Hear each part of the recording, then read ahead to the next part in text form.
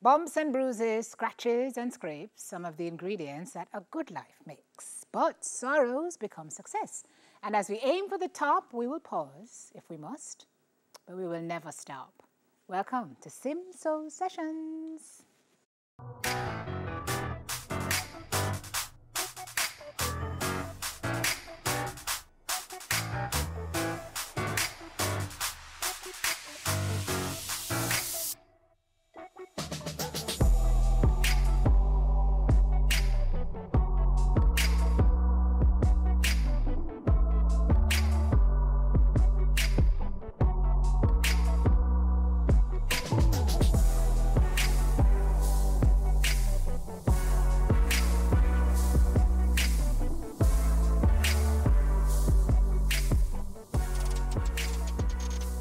Everybody. Welcome to Sim Soul Sessions, the safe space to share your stories. Tonight, I feel it an honor to speak to a young man whose story is so powerful it literally shook me to my core. Once a hard hitting, hardcore human being, Kashekee Smash Linton has traded badness for the kingdom of God. A move which has cost him street cred and relationships, earned him the label of being crazy by some of his closest friends and family, and even earned him death threats. But Smash says he cares zero about any of that. He will give his life, if need be, to win souls. So he's here with me tonight, and I welcome you to the set. It's so good to have you. It is an honor to be here Oh tonight. my gosh. So Truly an honor. I'm so glad. I found you on TikTok. Scrolling one day and just came across one of your posts, and I went down the rabbit hole because I had to go on your page and figure out who you were and what you're about. It's, it was only when we spoke that you told me that you had actually done Rollout Yes. And Smile Jamaica. Yes. Back then, though, you were singing, literally Yes. singing a different tune. Um, but then there came a point in your life where you decided this year that you were going to choose a different path. The post I saw, you were on your knees yes. and you were praying. And you were saying essentially that today was the day I open up and choose Jesus. Um, before we get there, who was Smash before that moment? Okay. Smash. I went by the name of Smash because I did dancehall music, like trap music. So I used to do like all of them chopping tune the way you hear out the rest of the artists them I sing. I wasn't interested in anything else but my musical career and myself. I was basically one of them you the way say just I go for them goal, just I go for it. Now focus on the bigger picture. Never did I look upon life for what it truly is. So um, I was just an individual like any other youngster we see out there where lost them way when I really understand life, or just I do things without him. I look upon um, the backlash that might come from that. When I look upon them life, I say, this is what um, my kids are gonna grow up and come see, or this is what the society is gonna view me as. We never really, I never really understand or know where I was because I was lost without God. Because the only way I can have true direction is through Christ. So the day you did that post, you don't even say you don't know why. You I didn't know even know why. didn't know how I did that post. To tell you the truth, it's just a power, a different energy, a different source that was coming from somewhere where I never been before. I tapped into something that I never tapped in, tapped in before because that was the day I came in contact with Jesus. That was my true calling. I saw everything that I needed to do and flashes of everything that He has kept me from. Believe. Let's talk a little bit about that. Because for all intents and purposes, Smash, you've been to the bottom and back Truly. several times. Um, but you say from you were young, like you used to have conversations with God when you were young, Yes. and from you were young, you always felt like there was a connection with God, a force field around you.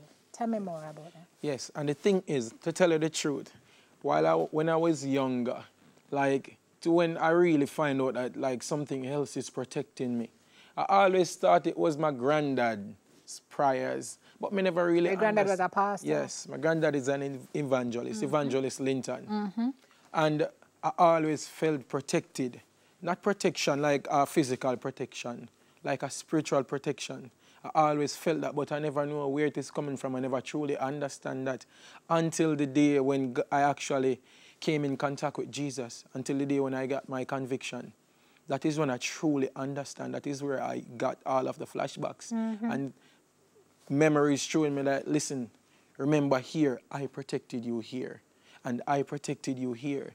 Normally, I hear people speak about God and say, Oh, God, talk to me. But normally, I pitch to one voice as and literal words I hear in, inside. I, but spiritually, it's a spiritual sense where you only can hear those words when you're in contact with God. That is so, that is how powerful God is. He speaks to you, but He speaks directly to your soul.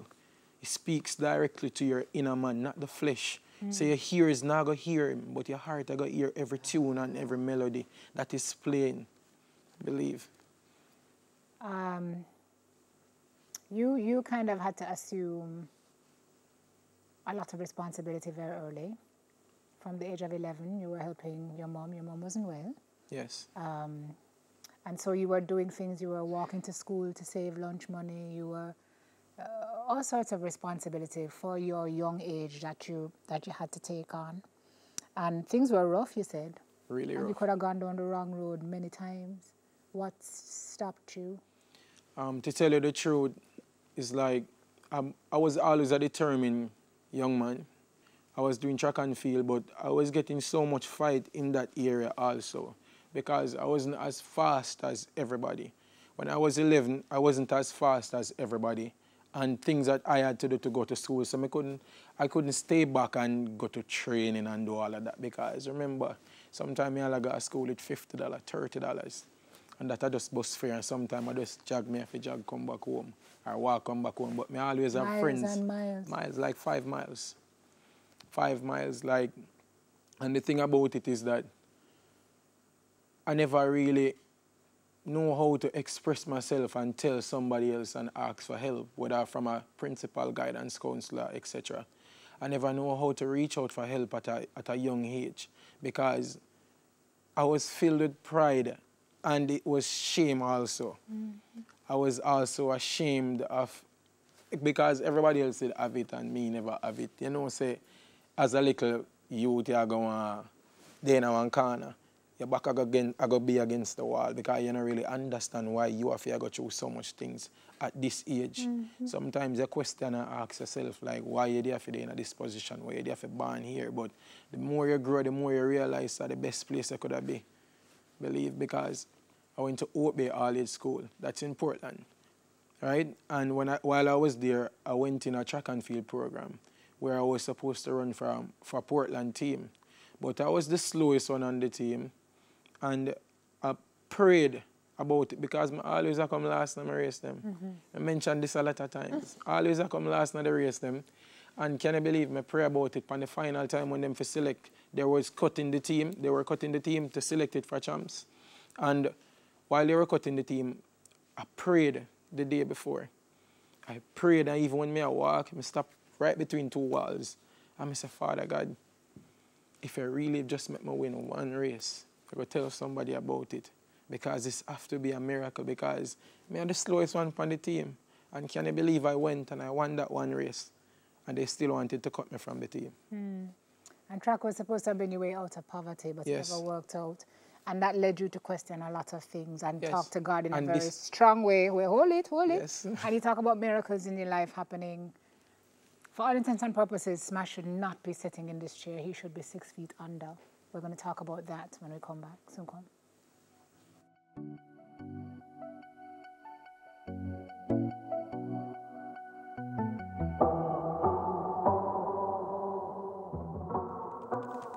All right, folks, back with Kashekee. I call him Smash. What I tell you your name mean again? Huh? I don't remember. I did look it up and tell you what your name means. Um, Kashekee. And it's Kashiki you were supposed to name. Yes, Kashif. register you wrong. Yes, they register I might look it up and tell you what your name means again before the end of the show. But it's, it's filled with purpose and he didn't even know, so it was destined. Speaking of destiny, is at least three or four times you should have dead, brother. Yes. You should not be sitting in this chair today. You almost drowned when you were six. Yes. When you were about 11, you had men laying in wait to try and kill you. Yes. Them hold the wrong person.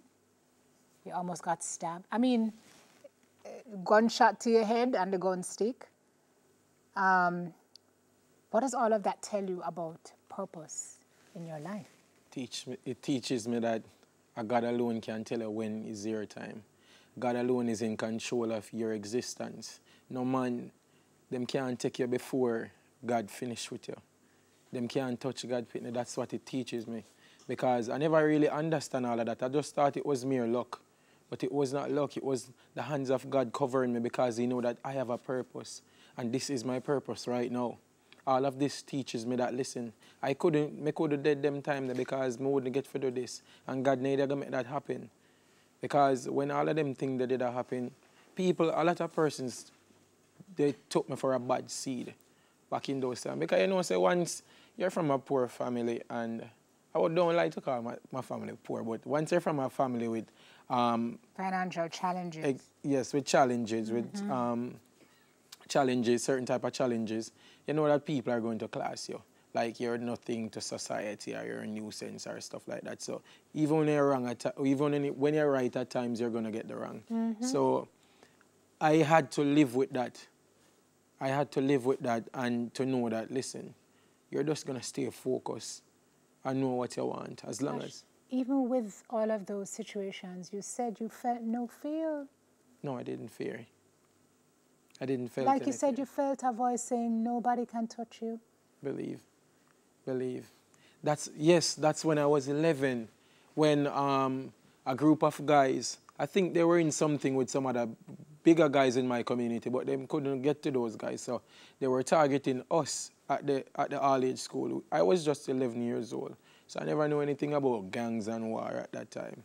So they were targeting us. They, hear, they heard that we were going to the school and they heard that one of the guys were related to somebody that were in, they were in the conflict with. Them don't know we're different, so them come and just we. And can you believe that one of the guy, big guys them, about four or five of them, um, step up to walk up to it. One, has a, one had a knife in his hand. He had the knife in his hand and he walked up. And everyone just stand still. That was there with us. All of the rest of kids there, they just panic. They panic and they just stand still.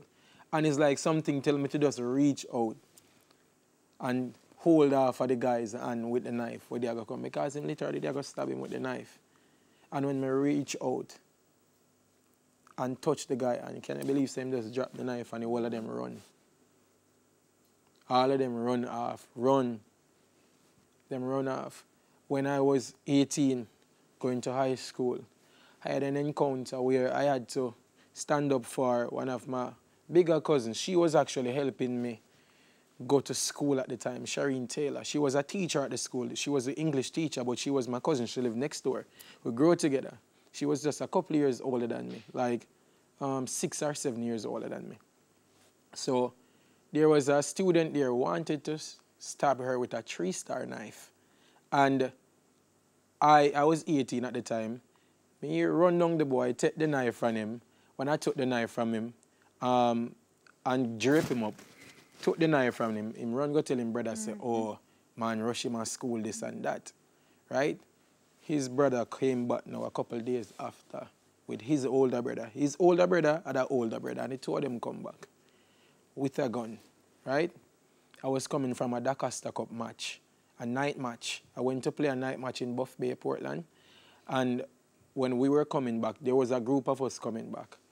And the guy literally hold on to my JanSport. Mm -hmm. When he hold on to my JanSport, um, when I turned around and saw that it was him, I was reaching for something. When me I reach for something, um, I find out say nothing not did for lamp on. I was reaching, when me, me remember him, I pulled my back, so I was reaching to hold on to something when I look around and sister him, to try brace up myself. Sister, nothing not did fall on pan. By the time I come and catch my balance, is a gun me feel right on my tummy. Right on my belly, the gun there. So when I see the gun, I stand up, so by all of my friends them start run come up now because them ready for fight, you know. And me have to shout and say, yo, him have a gun. By the time I say him have a gun, him actually I press it. And he not fire. When I see the gun not fire now, I so comes a big fight start. You gun lick way.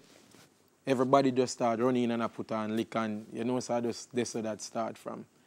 So that happened. Mm-hmm. That happened. And after that, after that, it was just chaos. Months upon top of months that carry on for months, where it reach a point where even police officers are saying that, listen, if these guys approach you guys again, because the officers heard what was going on, they came to us and said, listen, you guys are a student, but you have to protect your life. Mm-hmm. We understand if you protect your life. Mm-hmm. If anything happen where you have to choose, make sure at them or something happen to.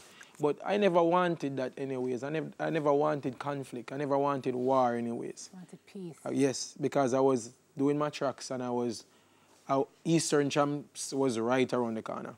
Eastern Championship was right around the corner. And to tell you the truth, so many things happened in that one little time that really transformed over my life because to tell you the truth, I never wanted to give up on that fight after when me really look back and say, listen, that brother could have killed me, you know. That the man they could have killed me, a gun the man put on me, brother, that man could have killed me, me not let that go. He have to pay. That's what was in my heart, and me carry that for years. Say he have to pay one way or another. And it always go back to when I got my conviction to come mm -hmm. to God. Hold on to it, Smash. We're going to talk some more. Other, I mean, if you think that's yeah. a lot, there is more. there is more. And we're talking about how he would have gone through all of that and decided that this is his safe place to be.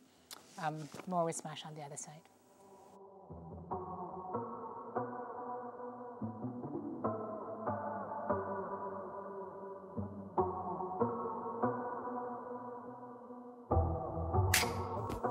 Back with Kashekee Linton. You may know him as Smash. Check out his TikTok page, please. It's, you will not be sorry um, that you did. He was telling us about some of the things he's been through in his life, cheating death. But not only did you have to cheat death, you had to deal with a lot of death. Um, you moved from home in Portland. Lots of things were going on. You lost your grandma. You moved to Oracabessa. When you moved to Oracabessa, um, with the love of your life, things got so rough that you had to break up with her because you wanted to spare her what you were going through. Yes. Lots of issues with your dad in Oracabessa, whose love you never really had. Um, then you ended up going back to Portland when things started to go wrong in Oracabessa because you started to lose a lot of people you loved there as well. And you just got to a point where you were just cursing God. Like, what are you doing? Talk to me about that point sure. in your life. 2020 is the worst year of my life, worst experience I've ever have to went through. My grandma died in 2020, the 3rd of January, around 10 something in the night. I got a call.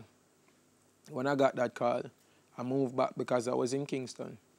I, I went, I went to Oracabessa and I stayed. While I was there, I found out that there was no unity in my family there all the years that I was going there because I thought that it was all love and peace there because I was only passing through for like a week or two when I was younger. I never stayed for months or years. So I never really knew what they were like in the long term. When I was there, I found out that it was pure hatred, bad mind, and grudge because it was a, it was a yard where most people in there now work. So you know, so when that, when you have an environment like that where people don't really have nothing to do, no responsibilities like that, they're just gonna find ways and means to like bring down each other because they have nothing better to do. While I was there, I started to try to unite everyone. I started to try to unite everyone. I was there um, trying to unite um, with my cousin. I never had anything like that where I could give anybody at the time. So I had a girlfriend at the time, and she decided to move there with me.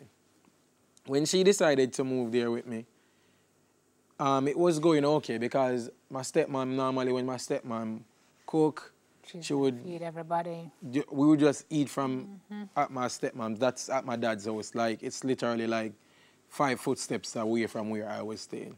So it was it wasn't so bad at first at first, and I was actually looking for a job at that time.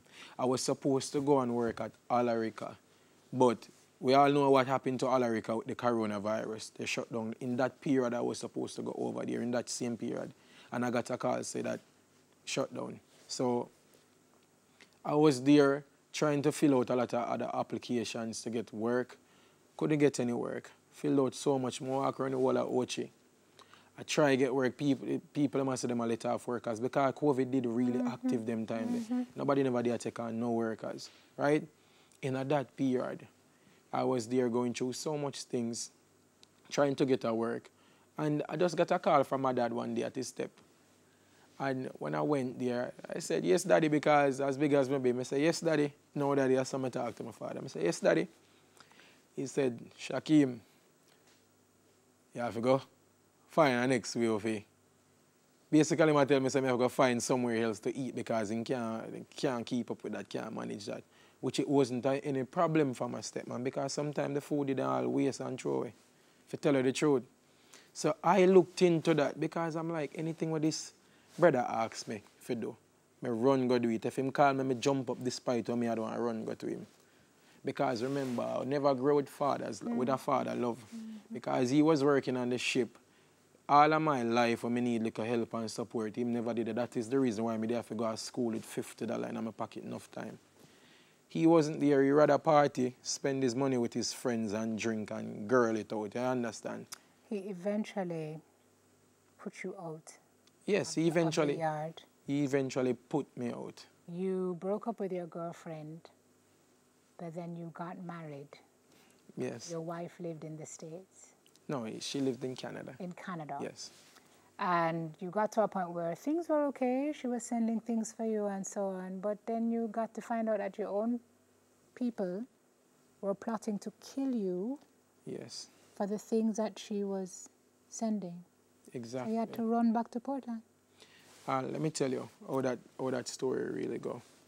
When I was getting stuff from my wife at the time, and I didn't get, you know, like people I get stuff, them want boast from everybody. I say, yeah, man, I have a wife and this me, me I get things from foreign and them want boast.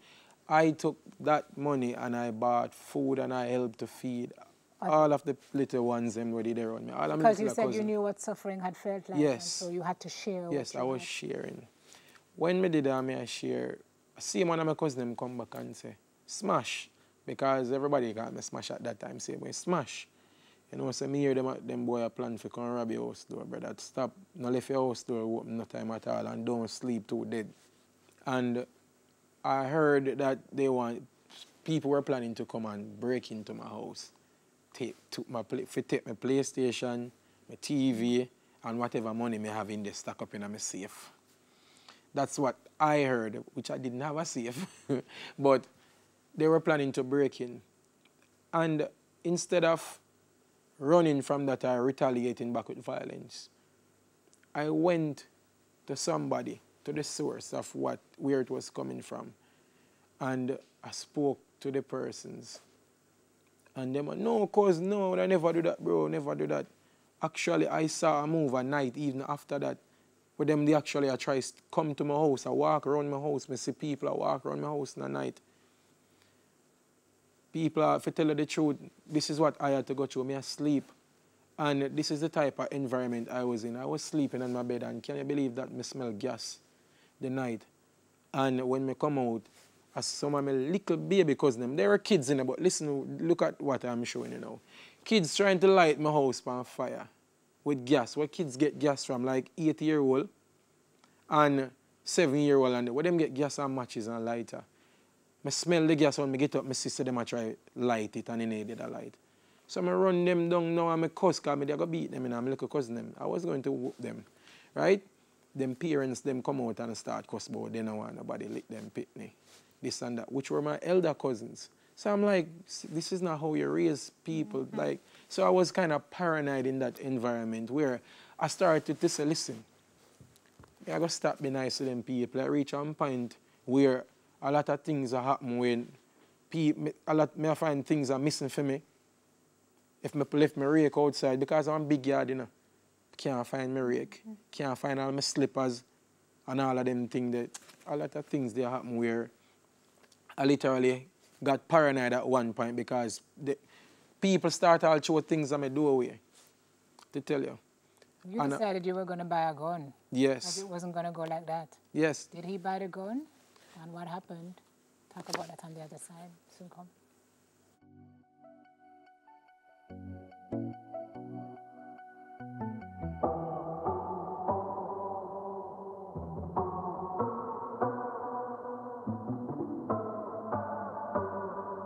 A lot of time in our life, we wonder why young people don't turn to church, brother.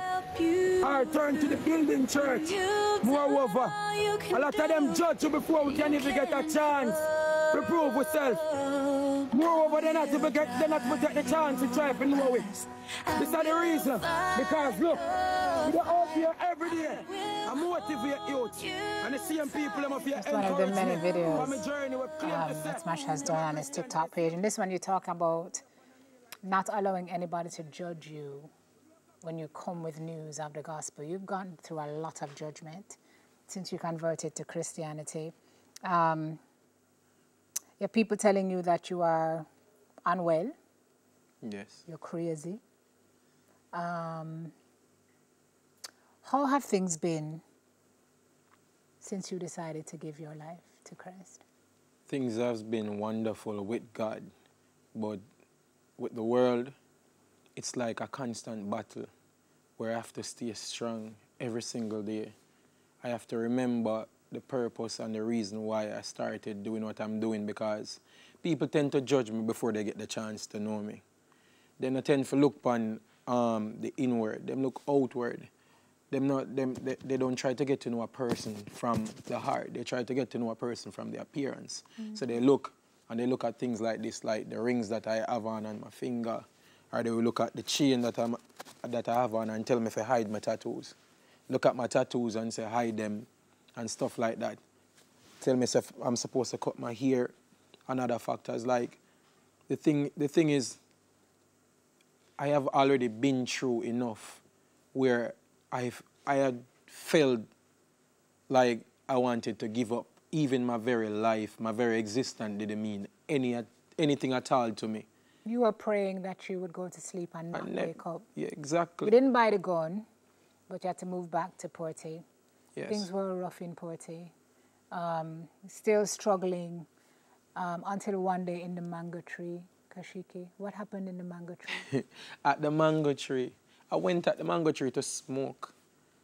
I went to smoke that morning. When I went to smoke, it's like I couldn't smoke. When when I hold this when I hold this smoke, when I hold this cigarette, um, the weed in my hand, I had a weed. When I hold the weed in my hand, my hands just start shake, and that's where the flashback started happening. Where me I see everything what God do for me in my life, like. He showed me that, son, you have purpose.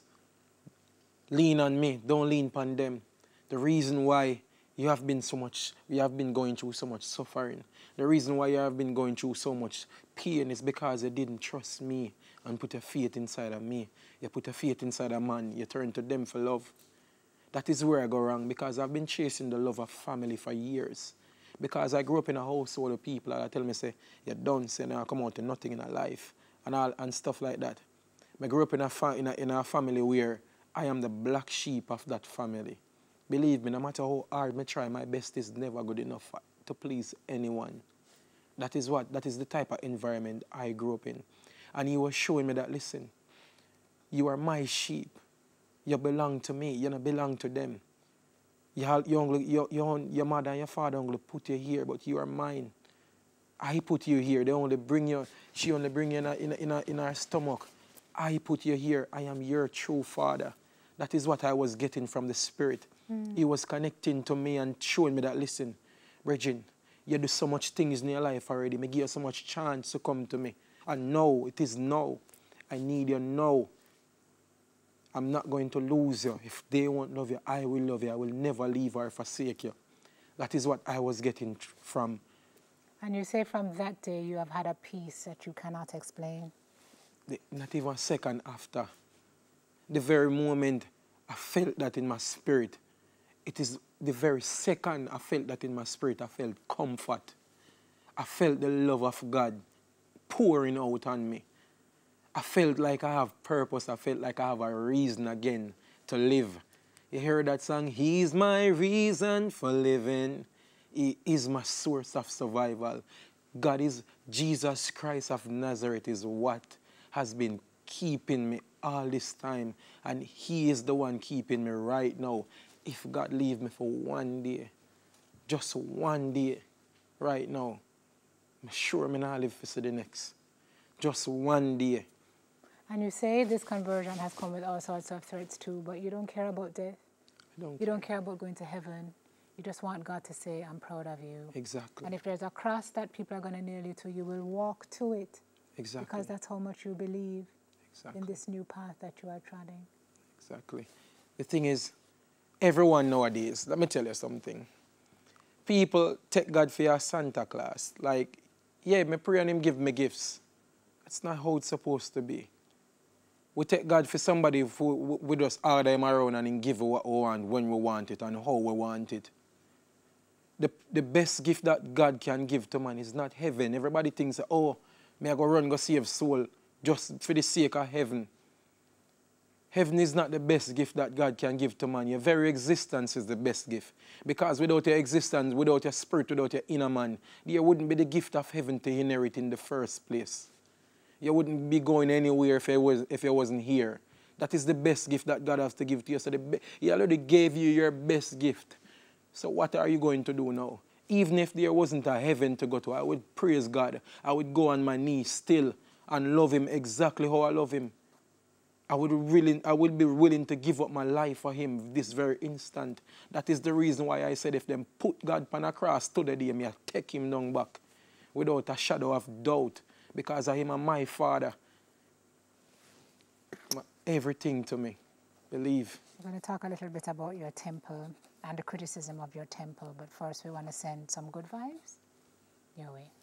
Laurie. True believer, not a new believer. Smash. Big up yourself, bro. Continue putting in the great work. You understand? You have my full support. I will out here I support you to the fullest. You understand? I love the move for you make. You understand? You make a youth like me feel proud to see a young youth just like myself make a, such a big move. And please remember, don't listen to the negative comment. Continue to do the positive thing. Continue to do what you do, bro.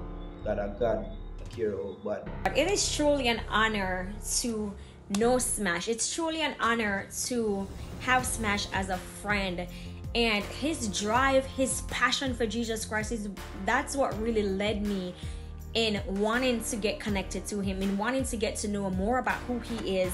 And that's exactly what I did. A young 23 year old, so passionate about wanting to change his life, about wanting to know more about Jesus Christ, wanting to get a closer relationship with Jesus Christ. That's what I love the most about him. That's my little friend. I'm like his mentor, and it's only up from here. Keep going, Smash. Don't stop what you're doing. And I am making this video to express myself and express how sincerely proud I am of Smash. He's absolutely come a long way. Um, I love the way how he is transforming into the man that God has ordained him to be. I love the fact that he's not just living for himself, but he's living for others as well. I love the way how he inspires other people I love the way how he's out here saving lives and how he's out here doing the work of God. And I just pray that God continues to bless you. I'm so proud of you. I hope that God gives God gives you the strength to continue doing what you're doing because we definitely need you out here. Keep going. I'm so immensely proud of you. God bless you, Smash. Take care. Smash, I am so proud of you. I am super proud of you. And I know you know this, right? I got the opportunity to meet you, you know, on the Jordan Pantry I'll Give My Heart school tour.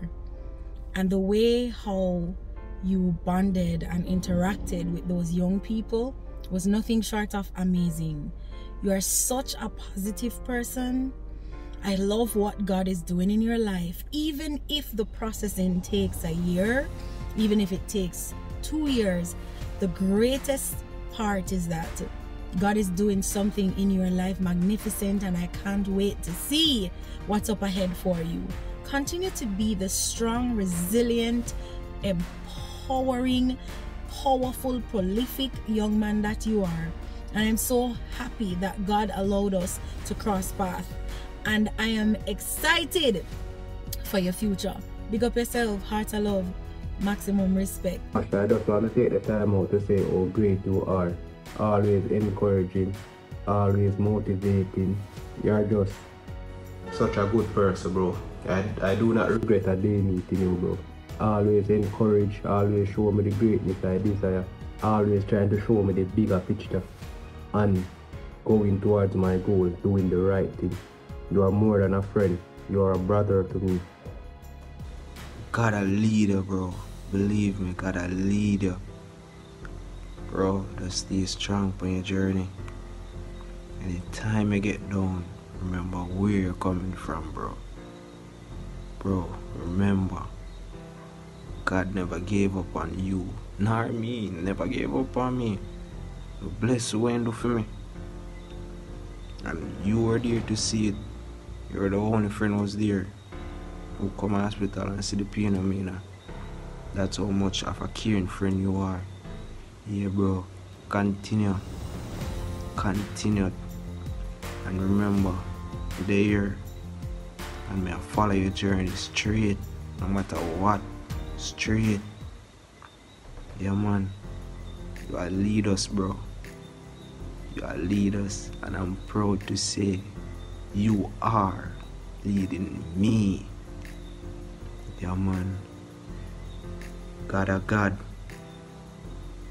No matter how bad. Love you, bro. Just want to take this moment, bro, to tell you that I appreciate you, bro. I appreciate the journey. You are the person who tell me, say, uh, humbleness and time in the key to survival. And everything in the have with God. And not probably, I saw God said if you get this message, bro, you're doing great, bro. You're doing great. And I just motivate me and motivate him to true believers, bro. Yeah, motivate the world, bro. I wanna believe. If it at least give them a time, the second thought, the one step closer to God. Believe. Smash, my son, I am so proud of you. And I would like for you to continue your journey and keep moving forward and upward. May God continue to bless you. This is the day that the Lord has made. I will rejoice and be glad he did. Shakim, I am not rejoicing. I am so proud of you. I know how far you're coming from. I know this journey. I wasn't expecting this, but I am glad for this surprise. Shakim, I hope you continue on this journey. I hope you continue to do the work of the Lord. Love you, Smash. Shakim, as a father, I just wanted to know that I am proud of you and I wanted to continue to strive for your goals in life. And I love your determination towards life. And I know that the best is yet to come because you are destined for greatness. And I know that. And I want you to know that I am very proud of you. So keep on doing what you're doing and keep on to be that good role model that you have chosen to be. Love from your father.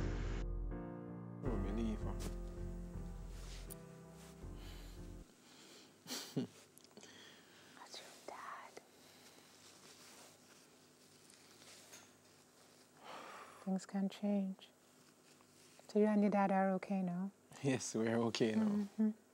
Um, your marriage, not so much. No. Because since you blew up on TikTok, um, you've been getting other kinds of messages from women, and your wife is not keen. She would like for you to discontinue this journey. But you say if it means your marriage has to end in your quest to serve God, then so be it. Yes. I'm quite surprised right now to tell you the truth. well, soak it in. I'm quite surprised because I- I never expected this. I never expected this, and to even hear from my mother and my father. I haven't spoke to my mom. I only spoke to my mom once since she left Jamaica. How many years ago? No, she's she, a couple of months ago she leave. I only spoke to her once, and I hardly speak to my dad recently. And to tell you the truth, I'm happy right now. I'm happy. I'm truly happy right now. This is what God can do. He's going to cut and clear, and He's going to fix and mold. because there's nothing that my father can do. Me thought the one up above, the one who create the temple where me can go go rest. And that, that temple is him because of him and him alone. He said, he that dwelleth in the secret place of the Most High shall abide under the shadow of the Almighty. And that is what I am going to do. I'm going to abide under the shadow of the Almighty Father God is powerful, and every and anything is possible through Him. All right. Take a break. We'll be right back, everybody. We'll be right back.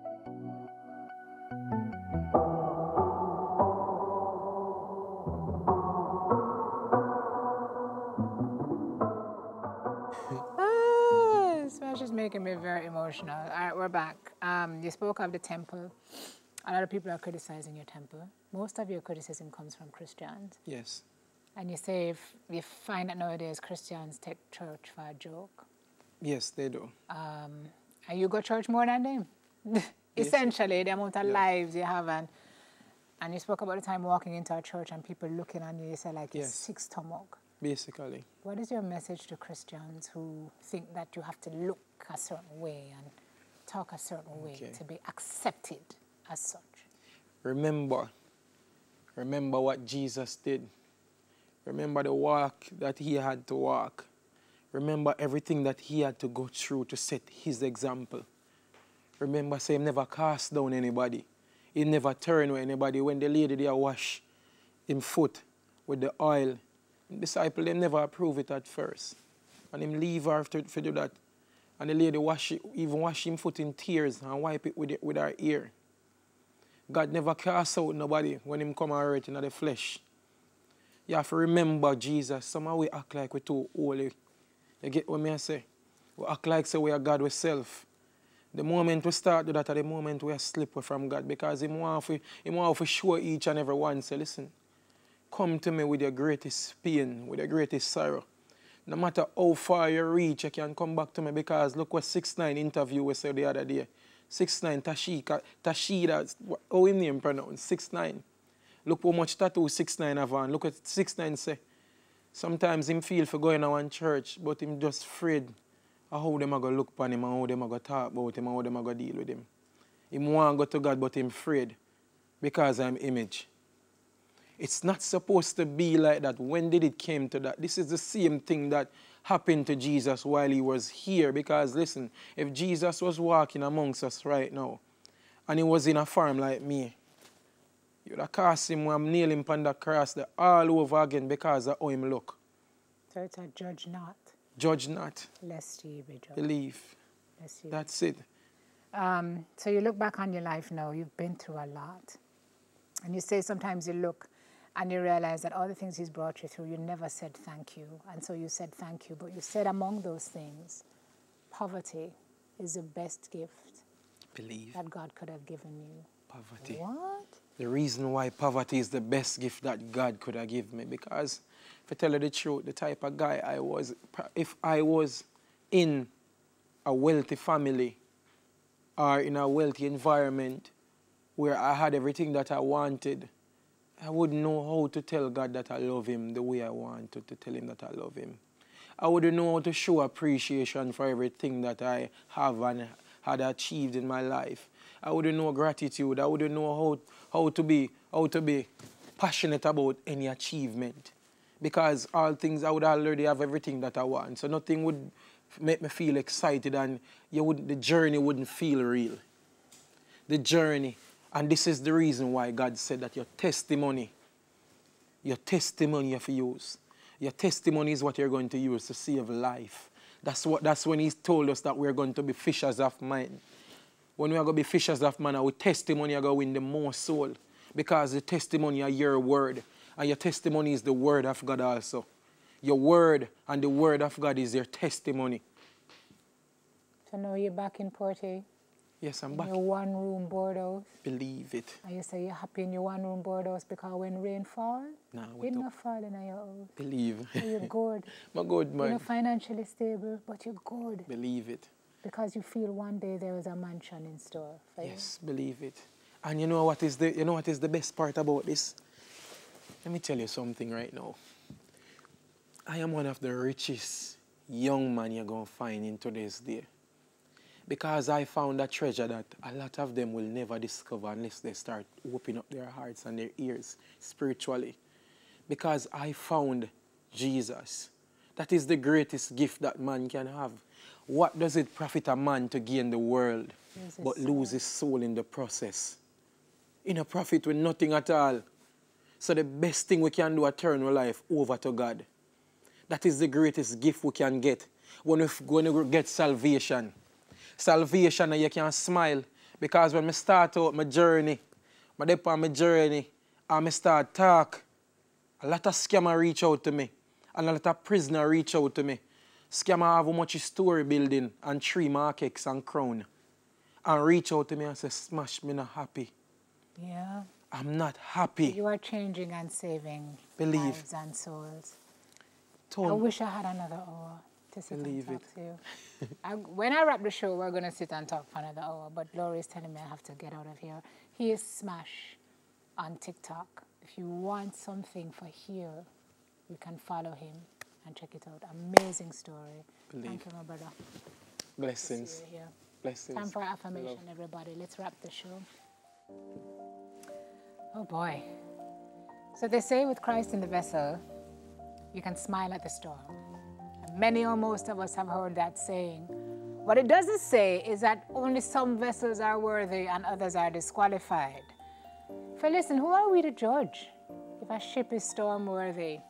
And who are we to decide who is worthy to spread the good word? There are those among us who look like the most likely sources of virtue, but their hearts tell another story. And others to whom we would never give a second look or spare a second thought because they don't look the part, even though their message is exactly what we need to hear more of. It is often the least likely source that has the most profound impact. So hear with your hearts, not with our eyes. And discount not a man's testimony because of what you see on the outside. Beware you miss the message by shunning the messenger and missing a blessing that you may badly need. Tonight we are affirming I will not judge with my eyes, I will listen with my soul. That is our soul food and our show for this evening. Thank you for watching. What a privilege to sit in this chair. We're back next week, everybody, with another story of the power of the human spirit. Until then, every blessing, and please remember daily to count your blessings. Good night, and God bless.